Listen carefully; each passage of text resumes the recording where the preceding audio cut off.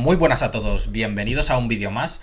Hoy vamos a hablar de un tema del que no hemos hablado anteriormente en el canal y es de invertir en real estate con poco dinero, ¿no? Lo que sería pues toda la parte de la inversión inmobiliaria pero con cantidades pequeñas de dinero, ¿no? Y bueno, he decidido hacer este vídeo porque a lo mejor a muchos de vosotros os gustaría invertir en algo relacionado con el real estate, os gustaría invertir en hoteles o en edificios de oficinas, pero no disponéis del capital suficiente como para compraros un hotel entero o un edificio de oficinas entero, ¿no? Como es mi caso también, evidentemente.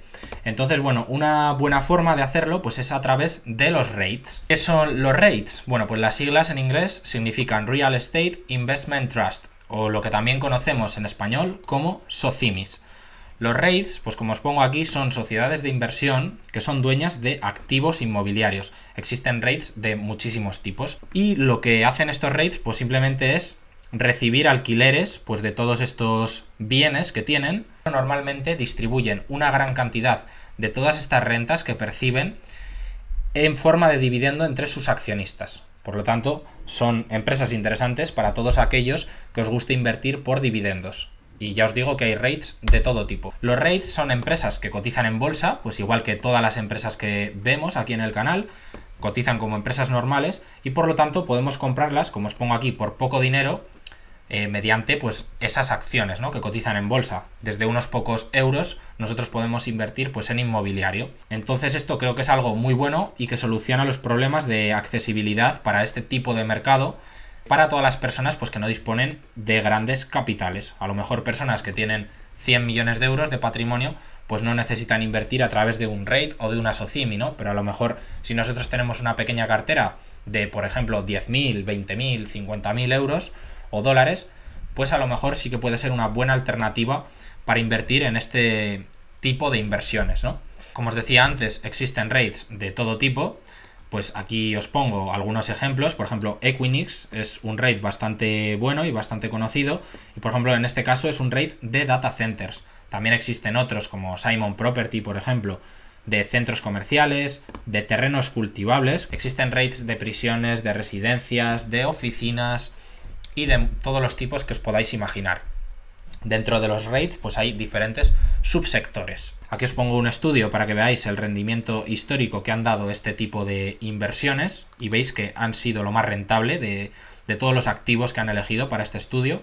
En este caso es un estudio desde el 2001 hasta el 2020, ¿vale? De estos 20 años. Y veis que el retorno anualizado ha sido del 10% anual compuesto, batiendo incluso a la equity, a las acciones de mercados emergentes o al SP500 por bastante, por 2,5 puntos porcentuales. Y ya ni que decir pues de otro tipo de inversiones, ¿no? Como los bonos que han rentado un 4,8% o pues ya os digo, incluso a las small cap que han dado un muy buen rendimiento también las han batido en más de un punto porcentual. Entonces, históricamente, pues han sido un tipo de inversión bastante rentable. Características de los REIT. Normalmente suelen pagar siempre una buena cantidad en dividendos. ¿Y por qué son tan buenos pagadores de dividendos? Bueno, pues porque tienen beneficios fiscales si se reparte el 90% de lo que ganan, pues vía dividendos. Entonces, pues esto es bastante interesante, ¿no? desde el punto de vista de la fiscalidad. Otra cosa que tenemos que tener en cuenta para valorar los REIT es que, a diferencia de otro tipo de empresas, no tiene ningún sentido valorarlas, por ejemplo, por los EPS, los beneficios por acción, ni por el beneficio neto, ni por ejemplo tampoco por el valor en libros. Y no tiene ningún tipo de sentido porque los beneficios por acción y el beneficio neto pues están disminuidos por las depreciaciones y amortizaciones, que es una pérdida contable que resta los beneficios, pero realmente esto no es así. Un rate que, por ejemplo, tiene edificios de oficinas o centros comerciales normalmente tiende a apreciarse con el tiempo, al menos si los activos son de calidad, no a depreciarse. Y lo mismo pues con casi todos los tipos de rate, ¿no? Entonces, lo que se utiliza para valorar este tipo de, rates, pues es el FFO y el AFFO, que es el Funds from Operation y el Fund from Operation, pero ajustado, al que le hemos restado el CAPEX. Entonces, esto sería el equivalente al Free Cash Flow y es con lo que se valoran los rates. Como os decía antes, el valor en libros tampoco es muy útil porque al depreciarse los activos, pues no es muy representativo, ¿no? Tú te estás eh, depreciando contablemente, pues todos estos activos, pero realmente a lo mejor no están perdiendo valor, incluso en algunos casos lo están ganando, ¿no? A lo mejor una empresa que compró un centro comercial hace 15 años está valorado a un precio en valor en libros que actualmente pues es un precio muy superior su valor de mercado, ¿no? Porque se han ido revalorizando y bueno, por eso se utilizan pues estas métricas de valoración. ¿Ventajas de los rates? Bueno, pues a mí una de las ventajas que se me ocurre es la diversificación. Em, diversificación entre comillas, ¿vale? Porque sí que es cierto que hay rates que están muy concentrados, pero dependiendo del tipo de rate en el que invirtamos, pues podemos estar invirtiendo en muchísimos activos, incluso de diferentes tipos, y en muchos países al mismo tiempo. Entonces, pues comprando una única acción, según qué acción compremos, pues podríamos estar diversificándonos. Aún así, creo que si vais a dedicar una parte de la cartera a invertir en rates, pues creo que es interesante que no únicamente tengáis uno en cartera, ¿vale? Sino que yo a lo mejor escogería tres o cuatro rates que me gusten y, por ejemplo, si yo quiero destinar el 20% de la cartera a la inversión en rates, pues, por ejemplo, escogería cuatro y pondría el 5% en cada uno. Y así ya estaríais completamente diversificados. También hay más formas de estar diversificados que vamos a ver luego. Pero bueno, esto esta es una forma que a mí se me ocurre. Otra ventaja interesante es la cobertura contra la inflación. La mayoría de los contratos que tienen y por los que reciben pues esas rentas ¿no? de, alquiler, pues están firmados de manera que se incrementan según lo que suba la inflación de forma anual. Entonces, pues estamos protegidos contra la inflación y además, pues estos rates invierten en activos reales que se tienden a revalorizar también pues con el paso de los años, ¿no? Al igual que sucede con la vivienda y al igual pues que sucede con otro tipo de activos. Y también pues otra de las ventajas es la baja correlación en el largo plazo, ojo, con los tipos de interés. Sí que existen periodos de corto plazo donde pues a lo mejor suben mucho los tipos de interés y pueden perjudicar los rendimientos de los inmuebles, pero a largo plazo la correlación es bastante baja con los tipos de interés y tienden a hacerlo muy bien. De hecho, ya habéis visto que en los últimos 20 años es el activo que mejor se ha comportado. Desventajas o riesgos que yo les veo, o el problema que podemos ver en los REIT, pues es que generalmente operan con cantidades elevadas de deuda. Esto no es de un REIT en específico, sino más bien de prácticamente todos los que vayáis a mirar. Entonces eso en periodos recesivos a lo mejor puede hacer que tengan poca flexibilidad financiera y algunos podrían llegar a tener problemas, incluso podrían llegar a tener que emitir acciones en un mal momento pero bueno, eh, también es cierto que en cada uno de estos rates pues tendremos que estudiar el tipo de deuda que tienen, el apalancamiento que tienen, si esa deuda es a tipo fijo o tipo variable, ¿vale? No todos los rates están igual de endeudados y no todos tienen por qué tener problemas. Pero sí que hay que tener en cuenta que son inversiones que utilizan apalancamiento para comprar todos estos activos. Entonces este es otro punto que tenéis que tener en cuenta. Bueno, aprovecho para recordaros chicos que podéis seguirme en Twitter si todavía no lo hacéis. Alguna vez os he comentado algún rate que a mí me parece interesante y veremos al final del vídeo. Es arroba Iván barra baja bolsa, donde ya somos más de 8.400 inversores.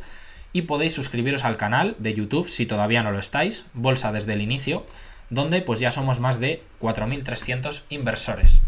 Otra manera que tenemos de invertir en los rates es a través de ETFs que no son otra cosa que fondos de inversión cotizados y que podemos comprar pues desde diferentes brokers de manera similar a si fuesen pues acciones. Eh, esta es una manera pues que tenemos de invertir eh, y tener una diversificación pues muy amplia, como os podéis imaginar. Aquí os he puesto dos de los clásicos, que es el ETF Vanguard de Real Estate, podéis buscarlo, ¿vale? Y también os he puesto el Real Estate Select Sector, que lo podéis buscar y podéis ver de qué se componen cada uno de ellos pero eh, básicamente se dedican a invertir pues, en una gran cantidad de rates, en más de 100 rates, y entonces pues comprando uno de estos ETFs ya vais a tener una diversificación muy amplia. Aquí tenéis el rendimiento que ha dado, en este caso el Real Estate ETF de Vanguard, y bueno, 10.000 dólares invertidos pues en el 2012 serían actualmente pues cerca de 25.000 dólares. Entonces no han dado un mal rendimiento. Es algo más que doblar la inversión a 10 años, que creo que no está mal, la verdad. Bueno, antes de finalizar el vídeo, pues os voy a mostrar tres rates que creo que pueden ser interesantes. El primero de ellos es Royalty Income, que es un rate un poco particular porque reparte dividendos de manera mensual. De hecho, aquí veis que ha declarado 608 dividendos eh, que ha ido pagando mensualmente, ¿vale? Y de forma consecutiva. Y ha incrementado su dividendo desde 1994 109 veces. Como veis, tiene más de 6.500 propiedades inmobiliarias, bajo contratos de arrendamiento a largo plazo, pues con clientes comerciales. Entonces este es el primer rate del que os quería hablar. Bueno, veis que su AFO, en este caso, que es el Funds from Operations, pero ajustado, pues se estima que va a seguir creciendo durante los próximos años. Y si echamos un ojo a su valoración, pues en este caso, si vosotros usáis Ticker, podéis venir directamente aquí a la parte de valoración y eh, os sale ya calculado por AFO, pues vemos que actualmente estaría una valoración en línea con la media o ligeramente por debajo. Está unas 17 veces, 16,7 veces AFO del año que viene, que sería el equivalente, si recordáis, del Free Cash Flow. Y su media de este rate, que quizás es de mejor calidad que la media, pues ha venido siendo de unas 18 veces y media. Así que bueno, la valoración tampoco es que sea una ganga actualmente, pero sí que me parece un precio razonable y justo. Y es un activo que nos protege de la inflación. Y por otra parte, pues tenemos la rentabilidad por dividendo, que actualmente a estos niveles, pues da una yield del 3,47%, que no está nada mal. Oye, si conseguimos ganar algo de dinero por revalorización de las acciones y mientras tanto nos vamos llevando un 4,47% anual mediante dividendos, pues no está nada mal. El siguiente rate del que os quiero hablar pues es Simon Property, que cotiza bajo el ticker SPG. Actualmente veis que está a 98 dólares por acción. Y bueno, en este caso, este rate, que es bastante famoso, pues lo que hace es invertir en centros comerciales, ¿vale? Tiene buena parte de sus inversiones en América, en Estados Unidos. También tiene participación en otro rate de aquí de Europa, que es Clepier. Y en el caso de Simon, pues como veis, eh, de 2019 a 2020 el AFO, este equivalente al Free Cash Flow, os vuelvo a recordar, pues sí que le cayó porque sí que se vio más afectada por el parón, pero ya está más o menos recuperada y está teniendo pues ingresos más o menos como los que tenía antes de la pandemia. Sí que se estima que va a seguir creciendo, aunque quizás a un menor ritmo que el de royalty income, pero aún así creo que puede ser interesante en este caso por la valoración. Este rate ha venido a cotizar, como veis aquí, unas 16 veces, que es la valoración a la que suelen cotizar los rates normalmente, y actualmente está unas 9,34 veces. Parece que hay cierto miedo, eh, podría hacerle daño a lo mejor el comercio electrónico y que puedan arrendar pues sus propiedades en centros comerciales por menos dinero quizás. No sé cuáles son los miedos por los que cotiza estas valoraciones, pero el descuento es significativo. Y en este caso, pues la rentabilidad por dividendo, como veis aquí, es más alta, es cercana al 7% en estos momentos. Entonces a mí este es uno de los rates que me estoy mirando y de los que me parecen más interesantes. Y bueno, tengo que seguir investigando porque a lo mejor está justificada esta valoración, pero echándole un ojo por encima sí que parece que esté cotizando bastante barato. Fijaros que la llegaron a mandar en los mínimos de la pandemia a cuatro veces AFO, que eso fue un auténtico regalo, y desde entonces pues la cotización se multiplicó por cuatro prácticamente. Este es uno de los que me parece que están más atractivos actualmente. Y el siguiente del que os quiero hablar pues es Equinix, que cotiza bajo el ticker Equix, aquí lo podéis ver, a 631 dólares por acción. Y en el caso de Equinix sí que es cierto que se espera un crecimiento pues, superior a los anteriores rates que os había comentado. Es un rate de muchísima calidad, ¿veis? Eh, se estima que va a crecer prácticamente al 11% su AFO, que está muy bien. Y creo que la retención de clientes en este caso es muchísimo más alta que en los anteriores casos, ¿vale? Los clientes de Equinix no se cambian de un día para otro. Tú no cambias tu data center de un día para otro porque tendría un coste de cambio enorme. Y por eso creo que la valoración sí que puede ser más elevada. Sí que es cierto que ahora es más atractiva que hace unos meses, pero en este caso veis que está unas 22 veces AFO del año que viene, una valoración superior a los otros rates y bueno, su media histórica ha sido de unas 24 veces. Pero podría estar justificado en parte, pues ya os digo, por toda esa mayor calidad que tiene esta empresa. Para mí es uno de mis rates favoritos y sigo mirándolo también. Y después, pues veis que la yield por dividendo, voy a quitaros esto, pues veis que es más baja también que en el caso de los anteriores rates. ¿Vale? Veis que en este caso es del 1,94% que bueno, no está mal, es un pequeño dividendo que nos llevamos, pero sí que es considerablemente más baja pues eh, que en el caso de Royalty Income o Simon Property. Entonces, bueno, no sé qué rates conocéis vosotros, hay muchísimos más y os agradecería si me dejáis aquí abajo en los comentarios pues alguno que a vosotros os parezca interesante y si descubrimos alguno que creo que pueda estar bien, pues puedo hacer un vídeo analizándolo más en profundidad, si creo que puede ser interesante.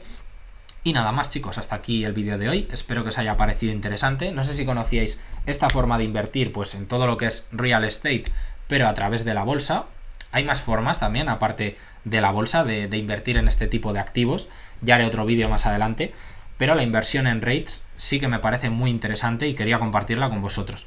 Entonces nada más chicos, espero que os haya gustado el vídeo, recordar suscribiros al canal si todavía no lo estáis y podéis dejar también un me gusta para apoyarme. Un saludo y hasta la próxima.